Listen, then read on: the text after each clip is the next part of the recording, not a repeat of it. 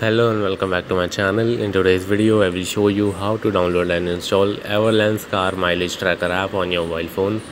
For that you have to open your play store and then search the name of your app. Now you can scroll down and read all the details about the app on your mobile phone. For that you have to open your play to start installation on your app on your mobile phone you just have to click on install and the app will start installing. After the installation complete you can click on open and the app will launch on your mobile phone. So yeah that's it for today's video. If you like this video please do not forget to subscribe to our channel. Thank you